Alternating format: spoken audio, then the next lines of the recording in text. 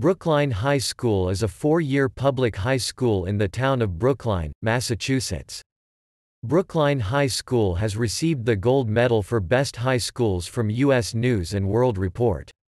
In addition, Boston Magazine has frequently ranked BHS as one of the best high schools in Massachusetts for academic performance. In 2008, it was ranked top in the state. As of the 2011 12 school year, 1,804 students were enrolled in the high school, served by 150 teachers. The student to teacher ratio was approximately 11.6 to 1, and students represented 76 nations and spoke 31 different languages. All students at Brookline High School must complete three credits worth of electives, with the intent of fostering student creativity.